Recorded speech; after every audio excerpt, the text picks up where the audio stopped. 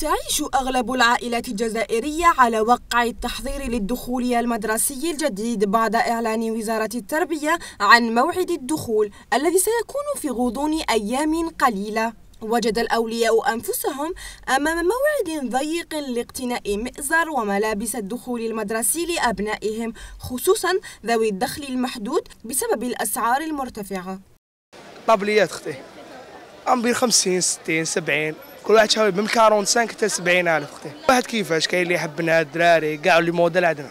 هذيك هي سمتهم أختي خاطر راهم يديروا في الجملة شوية غاليين ثاني ماشي كيما العوام اللي فاتوا بصح هذا العوام راهم ملاح ثاني وتزامن الدخول المدرسي الجديد مع موسم التخفيضات في المحلات الكبرى أو حتى الأسواق. إذ تتوفر السلع بشكل كبير وبأسعار معقولة نسبيا وقد قدرت كسوة كاملة للطفل الواحد بسبعة آلاف دينار كقيمة متوسطة بدون محفظة.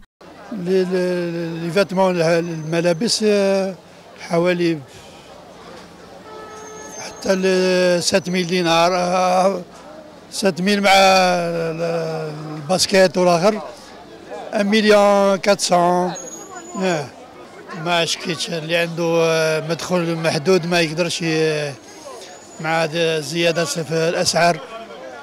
الله الله يعطيه كما يقولوا الله يقويهم الله يعاونهم يعاون يكون معاهم إن شاء الله. اختيار ملابس أنيقة ومريحة ملائمة مع القدرة الشرائية للأولياء هي بمثابة مهمة جد صعبة في الوقت الراهن خصوصا مع غلاء المعيشة.